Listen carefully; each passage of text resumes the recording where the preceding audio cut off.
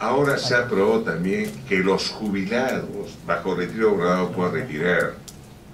Entonces eso puede ser un monto mayor, porque típicamente usted tiene que el que escogía rentas vitalicias en la compañía de seguros era gente menor ingreso. Casi todos los que he visto que tenían retiro programado eran gente más bien de mayor sueldo, mayor ingreso. Probablemente porque otros ahorros y no el riesgo de longevidad no lo tiene que tener incorporado. Entonces probablemente ahí haya una salida mayor que la que hasta ahora, porque es lo que muchos que se han jubilado los últimos 4 o 5 años, el retiro programado podrían sacar la plata. Pero lo más importante, como usted ha dicho, es el 25%.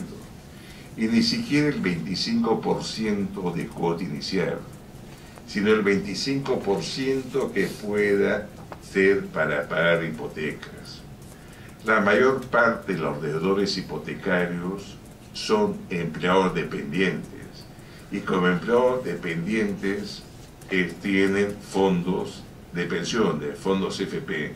Allí estimamos que el impacto pueda ser mayor, eh, pero eh, son estimados, estimados gruesos, inclusive nos hemos reunido con la superintendencia, hemos revisado sus estimados, pero obviamente pues depende mucho de lo que efectivamente ocurre en la realidad. ¿no?